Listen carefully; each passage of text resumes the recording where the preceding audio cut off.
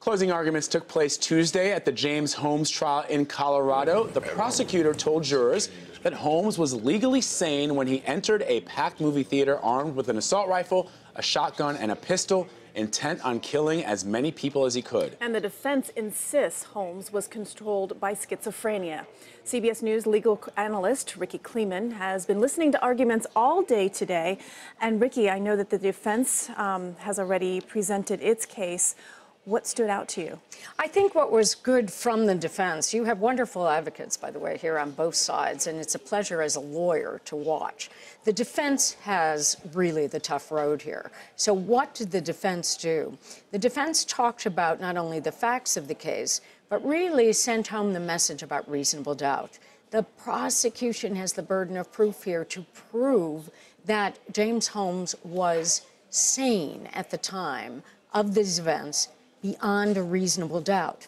In addition, what the defense did that I think was very powerful from their point of view was really go into what this mental illness really was and to talk about consensus. He looked at all four doctors, although two came up for the defense and two for the prosecution, but he would look to find their common ground. And one of the issues of common ground was that clearly this defendant is mentally ill. He has a mm. mental disease or defect. There is no dispute about that.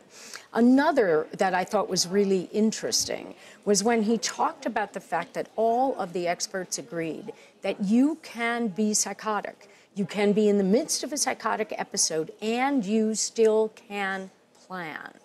So I think that that's really critical on the part of the defense because the most powerful evidence for the prosecution were these months and months of planning.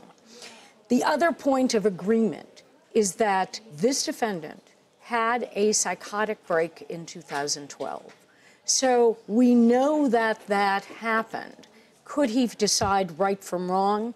Prosecution says that he could do so legally. Defense so that says that's not the standard. The question is, could he distinguish it morally?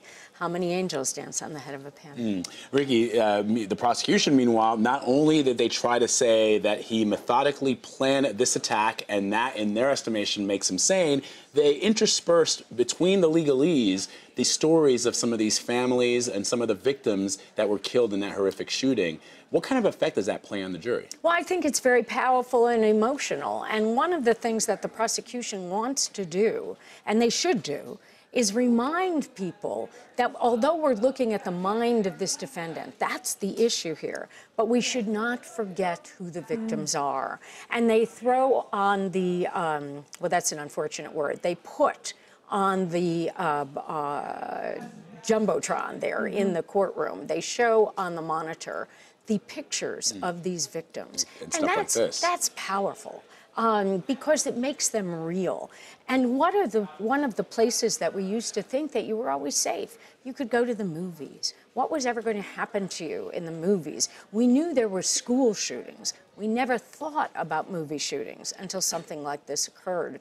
And so the idea of sympathy for these victims is a great motivator for the prosecution, so it doesn't have to get lost in the technicalities uh, of the mm. psychological evidence. You know, law is based on fact, but does emotion have a lot and is it, to do with a jury's decision? Of course.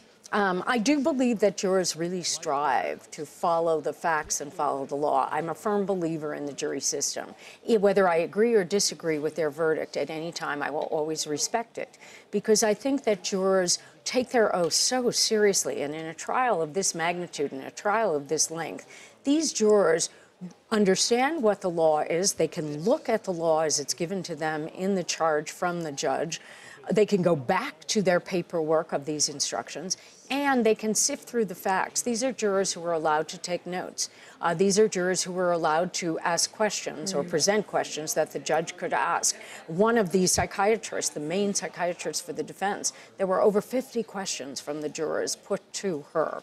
And so when you get to that, they will look at the facts. But we cannot ever divorce ourselves from emotion, no matter how hard we try. We're human, right? Right. Sure. Yeah.